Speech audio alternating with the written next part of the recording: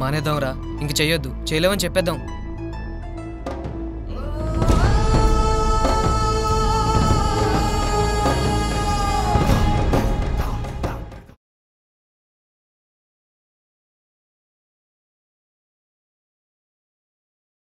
ఈరోజు పీకే అని ఒక ఆయన పెట్టుకుని మన పార్టీ మేర మన పార్టీ నాయకుల మేర మన పార్టీ నాయకత్వం మేర ఎంతో దుష్ప్రచారాలు చేసి ఈరోజు ఒక కులం పరంగా ఒక మతం పరంగా మన పార్టీని అందగట్టి ఈరోజు మన ప్రజానికంలో ఎంతో దెబ్బతీశారు.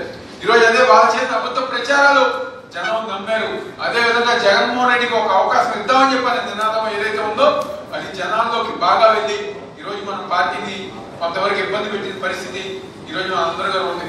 ఈరోజు మీరు ఎవ్వరు కూడా ఆధారపడాల్సిన అవసరం లేదు. బాధపడాల్సిన అవసరం లేదు. ఇబ్బంది పడాల్సిన అవసరం లేదు. నేను ఓడిపోయిన రెండో రోజే నియోజకవర్గ కానివ్వండి విజయవాడ నగరంలో కానీ మీటింగ్ పెట్టి ప్రతి ఒక్కరి దగ్గర అంతగా ఉంటాను తోడుగా ఉంటానని చెప్పి ఈరోజు ఆ రోజు అంతగా చెప్పడం జరిగింది ఈరోజు అదే విధంగా మీరు ఎవరు కదా ఈరోజు రాబోయే రోజుల్లో తెలుగు యువత మరింత బలోపేతం చేయాల్సిన అవసరం మన అందరిపైన ఉంది. ప్రతి ఒక్కరు గారు నాయకులుగా మార్చుకోవాలి మారాల్సిన అవసరం మన అందరిపైన ఉంది. ఇదే మంచి అవకాశం. ఈ రోజు ప్రతి ఒక్కరు ఎవరైతే రాజకీయాలు ఉండాలనుకుంటున్నారో ప్రజా సమస్య మీద పోరాటం చేయాలనుకుంటున్నారో ప్రతిపక్షంగా మనం ఉండి మనం నిరూపించుకుని ఈ రోజు తప్పకుండా ఏదైతే మీరు మీరందరూ గారు చెప్పారు ఈరోజు తెలుగు యువతను మన ఐదు సంవత్సరాలు ఎంతో నిర్లక్ష్యం చేశారని చెప్పని ఈరోజు నేను ఒకటే చెప్పుతున్నా రాబోయే రోజుల్లో జిల్లా అధ్యక్షుడు జిల్లా నాయకత్వం తెలుగుదేశం పార్టీకి ఎంత ముఖ్యమో సమానమైన గౌరవంగా తెలుగు యువతగా అదే విధంగా ఈరోజు మనం కార్యక్రమాలు చేసిన అవసరం మన పైన ఉండే. ఇందాక కరిమూల చెప్పారు సోదరుడు ఆరు నెలల దాకా చూద్దాం.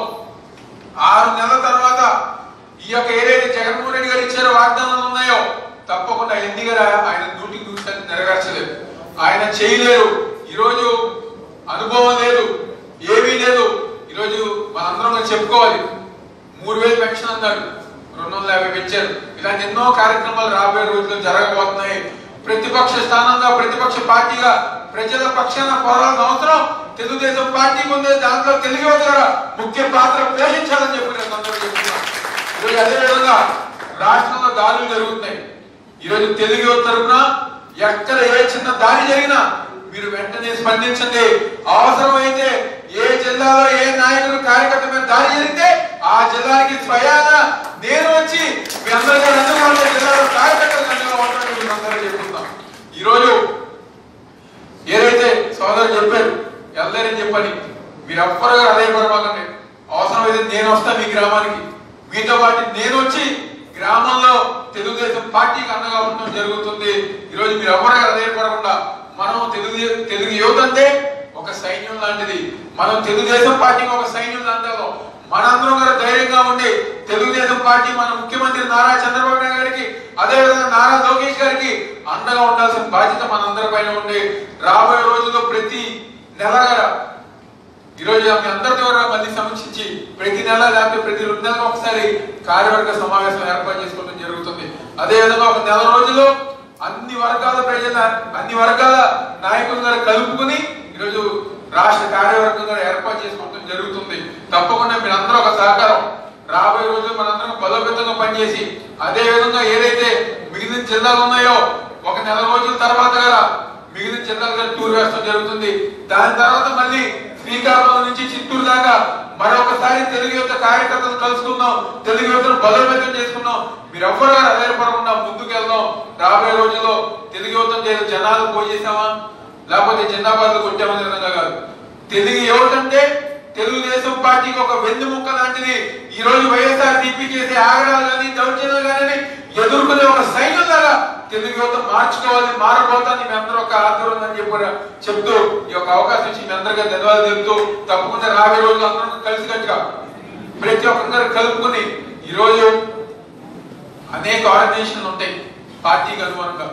ఈరోజు మనం ముందుకెళ్తాం మన నాయకులు ముందుకు తీసుకెళ్దాం బలోపేతం నాయకత్వం బలోపేతం చేసుకున్నాం. ఎవరైతే కొన్ని కొన్ని వ్యాఖ్యలు వేస్తారో ఎన్ని గారి నాయకుల దృష్టికి తీసుకెళ్తాం తెలుగు యువతకి మంచి స్థానం. రేపు స్థానిక సంస్థ ఎన్నికల్లో కూడా మండలాల్లో కానివ్వండి గ్రామాల్లో కానివ్వండి అదేవిధంగా కార్పొరేషన్ మున్సిపాలిటీలో కానివ్వండి తెలుగు యువతకి రాబోయే రోజుల్లో అందరి గారు మంచి స్థానం ఇప్పించే విధంగా మంచి యాక్టివ్గా పనిచేసే వాళ్ళందరి గారు పోటీ చేసే విధంగా అదే విధంగా రెండు వేల ఇరవై నాలుగులో తెలుగు యువత కోటా కింద ఎమ్మెల్యేలు ఎంపీగా పోటీ చేయించుకోవాల్సిన పోటీ చేయాల్సిన బాధ్యత మనందరిపై ఉంది. నాయకత్వం గారు మనకి సహకరిస్తుంది. టికెట్ గారు చెప్తూ ఈ రోజు అందరం అందరూ కలిసినందుకు చాలా సంతోషం. ఈ రోజు మరొకసారి చెప్తున్నా మనందరం ఒక మెసేజ్ ఇద్దాం తెలుగు తెలుగుదేశం పార్టీకి కార్యకర్తలు గారు అండగా ఉన్నాం ధైర్యంగా ఉన్నాం. ఎక్కడ ఏ చిన్న దారి చేసినా ఇందాక ఇందాక సోదరు చెప్పారు ఫోన్ రియాక్ట్ అవ్వదని చెప్పని. నా దగ్గర ఉంది ఒకే నెంబర్. ఇరవై నాలుగు గంటలు ఆన్లైన్ ఉంటుంది సైలెంట్లో పెడతాం నాకు ఎప్పుడు తెలియదు.